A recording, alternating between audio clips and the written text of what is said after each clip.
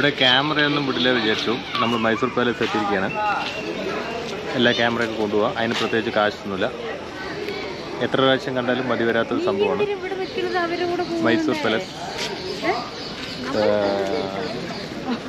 അപ്പോൾ നമ്മൾ കാണാൻ പോവാണ്.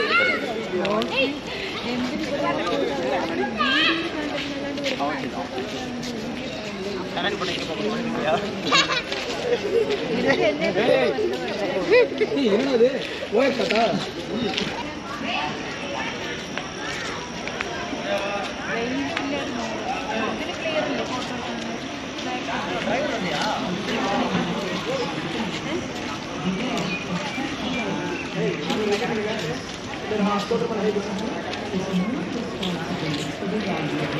ഇത്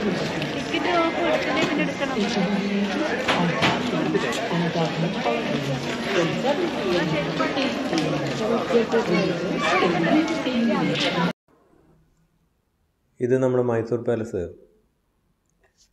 എല്ലാ സ്കൂൾ ടൂറുകളിലും കോളേജ് ടൂറുകളിലും ഉൾപ്പെടുത്തുന്ന ഒരു സംഭവമാണ്.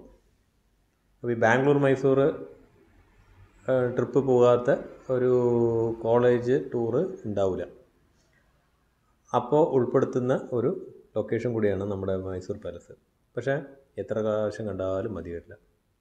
ഈ ശിലകൾ രാജാവിന് ഗിഫ്റ്റ് കൊടുത്തിട്ട് വെച്ചിരിക്കുന്നതാണ് ഇവിടെ ഫ്രണ്ടിൽ തന്നെ ഒരു രണ്ട് ആനയുടെ തല വെച്ചിട്ടുണ്ട്.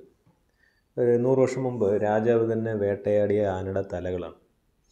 അതിനിപ്പോഴും പിന്നെ പദപ്പെടുത്തി അതേപോലെ വെച്ചിട്ടുണ്ട്. ഓരോ വർഷം കൂടുമ്പോഴും അതിനടുത്ത് കെമിക്കലിൽ ഇട്ടിട്ട് അതേപോലെ വെച്ചിട്ടുണ്ട്. ഒറിജിനൽ കൊമ്പ് ഒറിജിനൽ സ്കിന്ന് ഒറിജിനൽ തല.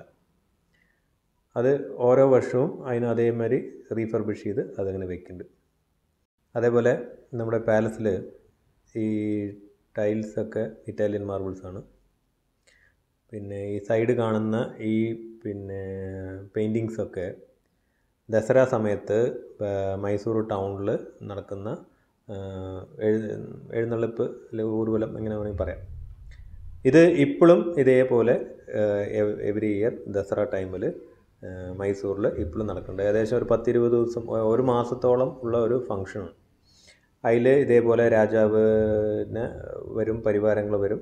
അപ്പോൾ ഇപ്പോൾ രാജാവിന് പകരം രാജാവിന്റെ ഒരു പല്ലക്ക് ഒരു ആനയുടെ മേലെ വെച്ചിട്ട് ഒരു എഴുന്നൂറ്റമ്പത് കിലോ വരുന്ന ഒരു പല്ലക്ക് ആനയുടെ മേലെ വെച്ചിട്ട് അത് ടൗൺ മുഴുക്കെ ഊർവലം വരുന്ന ഒരു രീതിയാണ് ഉള്ളത്. ഇപ്പോഴും അത് അതേപോലെ തന്നെ നടത്തുന്നുണ്ട്. പക്ഷേ രാജാവ് ഇരിക്കുന്നില്ല. അത് അതിന്റെ പകരം പിന്നെ ശാമുണ്ടേശ്വരിയുടെ ഒരു പ്രതിമയുണ്ട്. അമ്പത് കിലോ സ്വർണത്തിലുള്ള പ്രതിമയുണ്ട്. അത് വെച്ചിട്ടാണ് ഇപ്പോഴത്തെ ഫങ്ഷൻ നടക്കുന്നത്. അപ്പോൾ ഇത് ഇറ്റാലിയൻ മാർബിൾ പറഞ്ഞു. അതേമാതിരി ഈ തേക്കൊക്കെ ബർമ തേക്കാണ്. പിന്നെ ഈ ചിത്രങ്ങളൊക്കെ വരച്ച ചിത്രങ്ങളാണ്. ഇതിൽ ഈ പാലസ് കെട്ടിയത് കൃഷ്ണരാജ ഉടയാറാണ്. പുള്ളിയുടെ പിന്നെ ചിലയുണ്ട്. ഇതാണ് പിന്നെ രാജാവിന്റെ സിംഹാസനം. അത് അവിടെ തന്നെ ഇപ്പോഴും ഉണ്ട്. ഇരുന്നൂറ്റി അമ്പത് കിലോ സ്വർണത്തിലാണ് ഈ സിംഹാസനം ഉണ്ടാക്കിയിരിക്കുന്നത്. കൃഷ്ണരാജ ഉടയാർ. ഇത് ഒരുപാട് ചിത്രങ്ങൾ രാജ രവിവർമ്മ വരച്ചിട്ടുള്ള ചിത്രം കൂടിയുണ്ട്. രവിവർമ്മൻ പറഞ്ഞാൽ തന്നെ ഓവിയത്തിൽ അദ്ദേഹത്തെ കവച്ചു വയ്ക്കാൻ വേറെ ആളില്ല. ഈ ചിത്രം രാജ രവിവർമ്മ വരച്ചതാണ് എഴുതിയിട്ടുണ്ട് അതിൽ തന്നെ. പിന്നെ ഇത് കാണുന്നത് ഓരോ പെട്ടികൾ മരത്തിലുണ്ട് വെള്ളിയിലുണ്ട്. ഇതൊക്കെ രാജാവിനെ അടുത്തടുത്തുള്ള രാജ്യങ്ങളിൽ രാജ്യങ്ങളല്ല അടുത്തടുത്തുള്ള പ്രദേശത്ത് നിന്ന് അവരെ ഇൻവൈറ്റ് ചെയ്യുമ്പോൾ അവർ ഇൻവിറ്റേഷൻ അയക്കുന്നത് ഇങ്ങനെ ഓരോ പെട്ടികളിലാണ് കൊടുത്തയക്കുക. അതിനവിടെ അവർ ഓർമ്മയ്ക്ക് വെച്ചിരിക്കുമെന്ന് മാത്രം. ഇതിൽ പറയാനുള്ളത് ഞാനൊരു വർക്കിംഗ് ഡേ ദിവസമാണ് ഈ ഞങ്ങൾ ഫാമിലി ഫുള്ളായിട്ട് ഇവിടെ പോയത്. ബുധനാഴ്ച വ്യാഴാഴ്ച മറ്റാണ് എന്നിട്ടും എന്തുമാതിരി തിരക്ക്.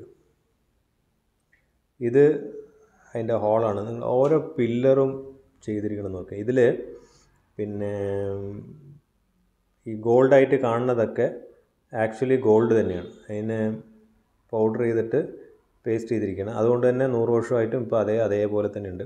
ഏകദേശം ഇരുന്നൂറ്റി ചില്ലാനും കിലോ ഗോൾഡ് ഉപയോഗിച്ചിട്ടുണ്ട് ഇതിലെ ഈ ഫിനിഷിംഗ് വർക്കിന് എന്നാണ് പറഞ്ഞത്. അപ്പോൾ ഈ തിരക്ക് ജാഥയ്ക്ക് പോണ പോലെയാണ് ഞങ്ങളെ ഉള്ളിൽ നടക്കാൻ പറ്റിയത്. വീഡിയോ ഒക്കെ ഒരു പരിധി വരയ്ക്ക് എടുക്കാൻ പറ്റില്ല. എന്താണ് അമ്മാര് തിരക്ക്? പിന്നെ ഇവിടെ എൻട്രി ഫീസ് വന്നിട്ട് നൂറ് റുപ്യയാണ് വാങ്ങിക്കുന്നത് അതിൽ ഇപ്പോഴും ഇവിടെ രാജാവ് ഉണ്ട്. അതിൽ പിന്നെ എഴുപത് റുപ്യ ഗവൺമെന്റിനും പിന്നെ മുപ്പത് റുപ്യ അല്ലല്ല സെവന്റി ഫൈവ് പെർസെന്റേജ് പിന്നെ ഗവൺമെന്റിനും ട്വന്റി ഫൈവ് പെർസെന്റേജ് രാജകുടുംബത്തിനാണ് ഇപ്പോഴും ഇതിന്റെ റവന്യൂ പോണത്. അപ്പോൾ ഈ ഗവൺമെന്റ് തന്നെയാണ് ഇതിലെ പിന്നെ എന്താ പറയുക ഇൻകം മെയിന്റനൻസ് ഒക്കെ ഗവൺമെന്റ് തന്നെയാണ് ചെയ്തു തരുന്നത്. രാജാവ് ഇപ്പോഴും ഈ പാലസിന്റെ ഒരു പകുതി പോർഷനിൽ ഇപ്പോഴും ആ കുടുംബവും അവിടെ താമസിക്കുന്നു ഇതിപ്പോൾ ഗവൺമെന്റ് ഏറ്റെടുത്തതുകൊണ്ടാണ് നമുക്ക് ഇതിന്റെ അകത്തൊക്കെ കാപ്പ് പോയി കാണാനും പിടിക്കുന്ന കാണാനൊക്കെ സാധിക്കുന്നത്. അതുപോലെ തന്നെ പുറ പോകുമ്പോൾ പുറത്ത് ചെപ്പലൊക്കെ പുറത്ത് അഴിച്ചു വെച്ചിട്ട് അവിടെ ക്ലോക്ക് റൂമുണ്ട് അവിടെ വെച്ചിട്ട് വേണം നമുക്ക് അകത്ത് പോകാനായിട്ട് ഇത് ഇപ്പോൾ ഉള്ള രാജാവിന്റെ ഫോട്ടോ ആണ്. ഇപ്പോൾ പ്രസന്റ് കിങ് ആളാണ് അവിടെ താമസിക്കുന്നത് വിത്ത് ഫാമിലി ഇപ്പോൾ ഒരു കുട്ടി ജനിച്ചിട്ടുണ്ട്. ആൺകുട്ടി കല്യാണം കഴിഞ്ഞിട്ടുണ്ട്. അപ്പോൾ ഇതിന്റെ ദസറ സമയത്ത് ഇവിടെ പല കലാപരിപാടികളും പരി വിശേഷങ്ങളൊക്കെ നടക്കാറുണ്ട്. അപ്പോൾ ഈ മൈതാനത്ത് മല്യുദ്ധം നടക്കും. അതിനാണ് നടുക്ക് മണ്ണിട്ട് വെച്ചിരിക്കുന്നത്. അത് ഇപ്പോഴും നടക്കാറുണ്ട്. ആ സമയത്ത് നമുക്ക് പുറമേ ഉള്ളവരെ ഒന്നും കാണാൻ അതിനകത്ത് അനുവദിക്കില്ല. രാജകുടുംബത്തിലുള്ളവരും അവരുടെ വി ഐ പീസ് മാത്രമേ പറ്റുള്ളൂ. പിന്നെ ഇപ്പോൾ കണ്ട ചില വന്നിട്ട് സിംഹത്തിന്റെ അത് ബ്രോൺസ് ആണ്. സിമെന്റ് അല്ല. ഇതിലിപ്പോൾ രാജകുടുംബത്തിലെ അംഗം അവിടെ ഉണ്ട് എന്ന് പറഞ്ഞു. നാല് പേരാണ് താമസിക്കുന്നത്. അതിന് നാൽപ്പത് സെർവൻസ് ഉണ്ട് അവരുടെ കാര്യങ്ങൾ നോക്കാനായിട്ട്. അതുപോലെ തന്നെ ഒരു പത്ത് പന്ത്രണ്ട് കാറുകളുണ്ട്. ഏകദേശം ഒരു പത്ത് പതിനയ്യായിരം കോടി ആസ്ത് ഉണ്ട്. അതല്ലാണ്ട് ഈ പറഞ്ഞ മാതിരിയുള്ള വരുമാനം വരുന്നുണ്ട് ഇതൊക്കെയാണ് നമ്മുടെ ഫ്ലോറിംഗ് ഇറ്റാലിയൻ മാർബിൾ പറഞ്ഞത്. ഇപ്പോഴും ഇന്നലെ ഇട്ട പോലെ സംഭവം ഉണ്ട്. അന്ന് തന്നെ ഇത്രയും പിന്നെ നൂറ് വർഷം മുമ്പ് ഇത്രയും ആലോചിച്ച് ഇത്രയും ഡിസൈൻ ചെയ്ത് വെച്ചിരിക്കുന്നല്ലോ. അപ്പോൾ ഈ പറഞ്ഞതിൽ നമ്മൾ തേക്കൊക്കെ ബർമ തേക്ക് പറഞ്ഞല്ലോ. അതിൽ പിന്നെ ഈ കാണുന്ന ഡോറ് പോലത്തെ ഇരുപത്തി മൂന്ന് കൂടുതൽ ഡോറുണ്ട് ഓരോ ഡോറ് പറയുമ്പോഴും ഓരോ റൂമുകളാണ്. അതിനെല്ലാം കൊത്തുപണി ചെയ്തിട്ടുണ്ട്. ഇതാണ് ഞാൻ പറഞ്ഞ പിന്നെ ആനയുടെ മേലെ വയ്ക്കുന്ന പല്ലക്ക്. ഇതിൽ വെച്ച് ഇതിലാണ് പണ്ട് രാജാവ് ഊരുവലം പോയിക്കൊണ്ടിരുന്നത്. അതിന്റെ അതിന്റെ ഒരു ആന ഉണ്ടായിരുന്നു ഗജേന്ദ്ര പറഞ്ഞിട്ട്. എഴുന്നൂറ്റമ്പത് കിലോ ഇത് തൂക്കാൻ ആ ആനയ്ക്ക് പ്രാപ്തി ഉണ്ടായിരുന്നു. അതൊരു ഇരുപത്തൊന്ന് വർഷം മുമ്പ് മരിച്ചുപോയി. പിന്നെ അതിന് ശേഷം ഇപ്പോൾ ഒരു ആന ഉണ്ട്. അത് പിന്നെ ദസറ സമയമാകുമ്പോൾ കാട്ടിൽ നിന്ന് കൊണ്ടുവന്നിട്ട് ഈ പരിപാടിയൊക്കെ കഴിഞ്ഞിട്ട് വീണ്ടും കാട്ടിലേക്ക് തന്നെ കൊണ്ടുപോയി വിടുന്നതാണ് അവിടെ നമ്മൾ ഗൈഡ് പറഞ്ഞ്. അങ്ങനെ സംഭവിക്കേണ്ടവർക്ക് അല്ലാണ്ട് പറയില്ല. അപ്പോൾ എഴുന്നൂറ്റമ്പത് കിലോ സ്വർണത്തിൽ ഉള്ള പിന്നെ പല്ലക്കാണ്. ഇതിൽ ഇപ്പോൾ മുമ്പ് രാജാവിരുന്ന് വരുമായിരുന്നു പിന്നെ ഇപ്പോൾ ചാമുണ്ടേശ്വരി ദൈവത്തിന്റെ ഒരു അമ്പത് കിലോ സ്വർണത്തിൽ തീർത്ത ഒരു പിന്നെ എന്താ പറയുക ചിലയുണ്ട്. അത് വെച്ചിട്ടാണ് ഈ പരിപാടിക്ക് പങ്കെടുക്കുന്നത് ഇപ്പോഴത്തെ നിയമപ്രകാരം രാജാവിന് വരാനുള്ള അധികാരം ഇല്ല. അതാണ് ഇങ്ങനെ മാറ്റി ചെയ്തത്. പിന്നെ അതുപോലെ തന്നെ ഇവിടെ ലൈറ്റ് ഇടുമായിരുന്നു ഓരോ വലിയ ഫങ്ഷൻസ് ഉണ്ടാകുമ്പോൾ രാത്രികളിൽ ലൈറ്റുകൾ ഇടായിരുന്നു. ഈ ദസറ സമയത്ത് എല്ലാ ദിവസവും ഇട്ടിട്ടുണ്ടായിരുന്നു. അല്ലാത്ത സമയത്ത് ഞായറാഴ്ച മാത്രമാണ് വൈകിട്ട് ലൈറ്റ് ഇടുണ്ടായിരുന്നത്. ഒരു മണിക്കൂർ ഇടും. ഒരു മണിക്കൂർ ലൈറ്റ് ഈ പാലത്ത് ഫുള്ളായിട്ട് ഇടാനായിട്ട് തൊണ്ണൂറായിരം ഉറുപ്പ്യാണ് വരുന്നത്. ഒരു മണിക്കൂർ ലൈറ്റ് ഇടാൻ. ഇതിൽ ഈ പറഞ്ഞ മാതിരി ലൈറ്റുകളൊക്കെ ബെൽജിയത്തിൽ നിന്ന് കൊണ്ടുവന്ന ലൈറ്റുകളാണ് ഇതൊക്കെ പാസ് ഇപ്പോഴും വർക്കിംഗ് ആണ്. ബൾബ് മാത്രം ഇപ്പോഴത്തെ ട്രെൻഡിനനുസരിച്ചുള്ളത് മാറ്റിയിട്ടുണ്ട്. ബാക്കി ലൈറ്റും കാര്യങ്ങളൊക്കെ വയറിങ് ഒക്കെ നൂറ് വർഷം പഴക്കമുള്ള സാധനമാണ്. ഇത് രാജാവിന്റെ ദർബാർ ഹാൾ.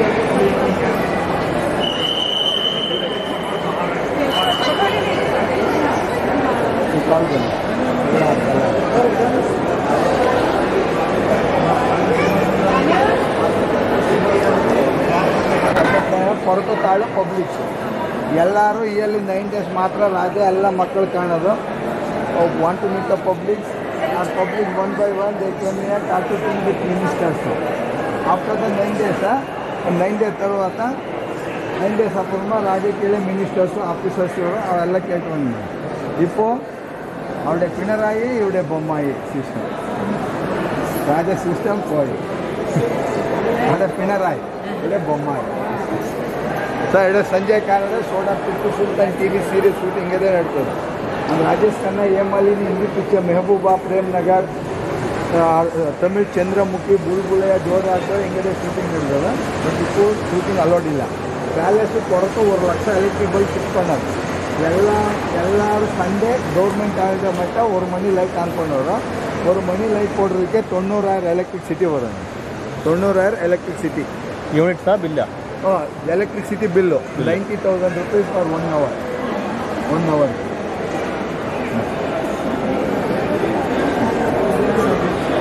ഫോർട്ടുഡിൽ കാർവ് ചെയ്തിട്ട് ആനക്കൊമ്പിനെ ഇതുമാതിരി ഷേപ്പ് ചെയ്തിട്ട് ഉള്ളിലേക്ക് വെച്ചിരിക്കുകയാണ് ഈ വെള്ള വെള്ള കാണുന്നതൊക്കെ ആനക്കൊമ്പാണ്. പിന്നെ ഇവിടെ ടൂറിസ്റ്റ് വന്നവർ ഇത് നോണ്ടി എടുത്തിട്ട് പോയത് ഇപ്പോൾ ഇത് പ്ലാസ്റ്റിക് വെച്ച് ഇത് പ്ലാസ്റ്റിക്കാണ് അതിന്റെ ഉള്ളിലാണ് ഇത് പാലസിന്റെ ഉള്ളിലെ അന്തപുരം. ഇത് പിന്നെ രാജാക്കന്മാരുടെ കാലത്ത് മന്ത്രിമാരും പിന്നെ വി ഐ പികളൊക്കെ ആയിട്ട് ഡിസ്കസ് ചെയ്യുന്ന ഒരു സ്ഥലമാണ്.